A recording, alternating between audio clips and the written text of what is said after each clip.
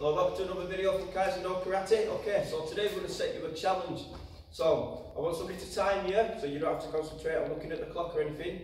One minute. So, this is one exercise. So we do two star jumps, two press ups, two sit ups, two squat thrusts. That is one. Then you do it all again. Want to see how many of those you can do in one minute. Ideally, upload your videos to our Facebook members group. Show us how well you're doing. The more you can do, the better. I think the highest I've seen so far is six. So if you can beat that, excellent. Good luck. Thank you.